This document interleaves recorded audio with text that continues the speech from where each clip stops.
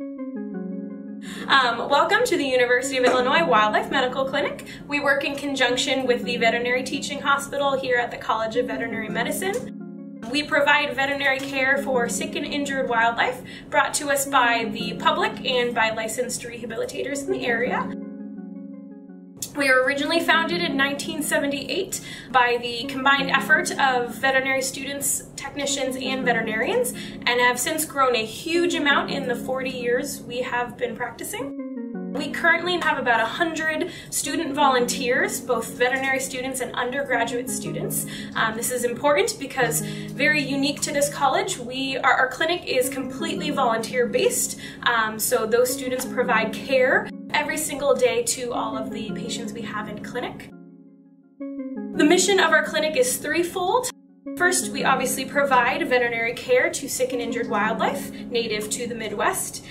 Two is to actually provide training to those veterinary students and undergraduate students. Um, and then three, to actually provide outreach and education to our local public so they know how to both bring in wildlife and interact with their wildlife and, and um, environments here in Illinois. So we're now excited to take you on a tour of our brand new clinic. We actually just moved in here about a month ago. Um, so this is actually our office space in here. This is where our students can work on medical records, can review blood work, x-rays or radiographs, um, do all sorts of things like that. Um, this is where we also keep our boards of the patients in hospital right now. It is very important to keep track of all of our patients in clinic right now because we do have a fair number, especially over the summertime. Um, this is a very important room here, especially during the school year, because all of those volunteers that I talked about previously, about 100 volunteers, are broken up into multiple teams of students.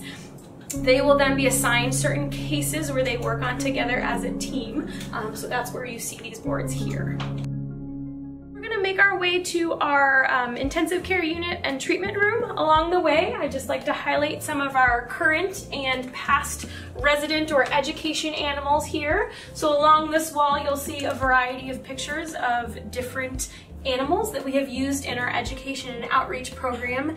These animals are all non-releasable for a variety of reasons. Some can no longer fly, some are not actually native species.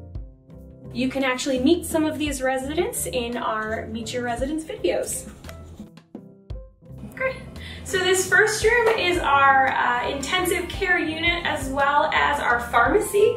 So we have a large number of medications that we use in the clinic, pain medications, antibiotics, anti-inflammatory medications, basically anything you can use on small animals, dogs and cats, you can use in our patients here at the Wildlife Clinic.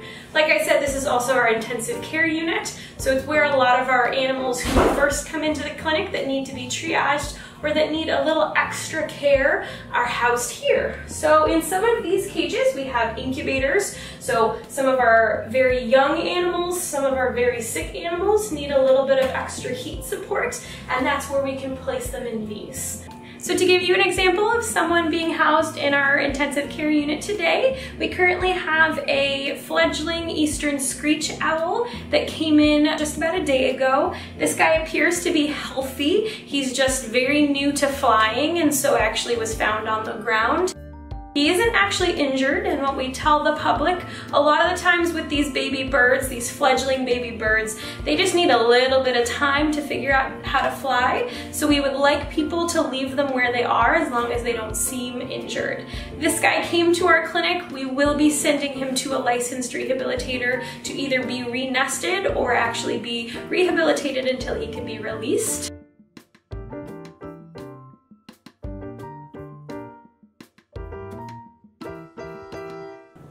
So this is our second room. Uh, this is our treatment room as well as our laboratory. Um, so any animal that needs treatments, whether that be orphan feedings for our young babies, whether that's bandage changes, wound care, um, any sort of thing like that occurs in this room. Um, also, we have our laboratory equipment here. We can run blood work, we can do fecal analysis, we can do um, lead analysis, all sorts of things like that we can do in-house. Luckily, we are attached to the College of Veterinary Medicine. So if we have any samples that need to go out for further diagnostic testing, we can send out to there as well cool. Um, so we have four holding areas here in the clinic. Um, we have each separated by a door in a room. This first one here we designed with a window as this is our actual nursery. So we try to keep a lot of our orphaned, usually mammals and birds in this room. Eventually when we are able to give tours through this clinic, we can have the public look in and see what's going on in this room.